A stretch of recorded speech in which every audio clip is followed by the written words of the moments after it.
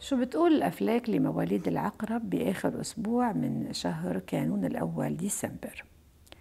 عزيزي بدك تكون واعي جدا بهالفترة ولازم تقوم بالمساعي والجهود للوصول إلى أهدافك بدون آثار سلبية.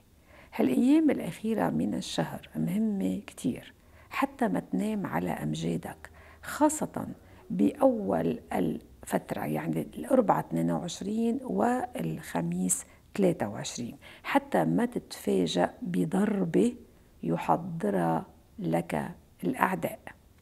إذا بدك تنتبه وتضلك واعي وما تنام على أمجادك أو مرتاح أو من دون ما يكون عندك وعي شو عم بيصير وحتى حراسة خاصة إذا كنت بتشتغل بالسياسة ما بعرف.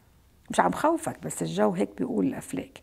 بتسمع خبر جيد جدا بالمجال المهني يوم 24 يعني يوم الجمعة 24 ويمكن تعيش أحلام سعيدة على الصعيد الشخصي أو العائلي بين الجمعة 24 وبين السبت 25 تنكب على أعمالك بدون امتعاض ولا تململ. هيك لازم بآخر هالشهر.